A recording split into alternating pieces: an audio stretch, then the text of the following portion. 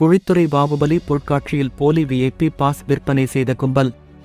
கன்னியாகுமரி மாவட்டம் குழித்துறையில் தொன்னூற்றொன்பதாவது பாகுபலி பொருட்காட்சி நடைபெற்று வருகிறது. இந்த பொருட்காட்சியானது இன்றுடன் நிறைவு பெறுகிறது. பொருட்காட்சி திடலில் ராட்டினங்கள் மற்றும் பக்க காட்சிகளை கண்டுகளிக்க வேண்டும் என்றால் கட்டணம் செலுத்தி டிக்கெட் பெற்று செல்ல வேண்டும்.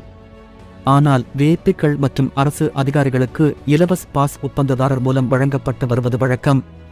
அதேபோல இந்த ஆண்டும் முக்கியமான நபர்களுக்கு விஐபி பாஸ் வழங்கப்பட்டது. இதனை பார்த்த ஒரு கும்பல் விஐபி பாஸை போன்று போலி அட்டை தயாரித்து கல்லூரி மாணவர்கள் மற்றும் பொதுமக்களுக்கு ரூபாய் இருநூறுக்கு விற்பனை செய்துள்ளனர். இந்த பாஸை பயன்படுத்தி ஏராளமானோர் பக்க காட்சிகளை கண்டு ரசித்துள்ளனர். இந்நிலையில் நேற்று மாலை நுழைவு வாயிலில் நின்ற பணியாளர்களுக்கு ஏராளமான பாஸ் வருவதை பார்த்ததும் அந்த பாஸின் மீது அவர்களுக்கு சந்தேகம் ஏற்பட்டுள்ளது. அப்போது இலவச பாஸ் கொண்டு வந்த ஒரு வாலிபரையும் அந்த பாஸையும் பணியாளர்கள் அழைத்து சென்று ஒப்பந்ததாரர் பால்ராஜிடம் விசாரித்துள்ளனர்.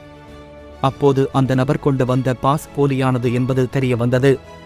உடனடியாக இதுகுறித்து களியக்காவளை போலீசாருக்கு தகவல் கொடுக்கப்பட்டது.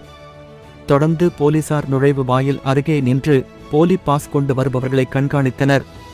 இச்சம்பவம் அப்பகுதியில் பெரும் பரபரப்பை ஏற்படுத்தியது. மேலும் போலி பாஸ் விற்பனை செய்தவர்கள் குறித்து போலீசார் விசாரணை நடத்தி வருகின்றனர்.